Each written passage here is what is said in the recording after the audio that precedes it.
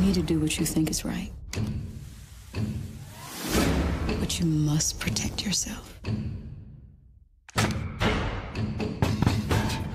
Because nobody else will.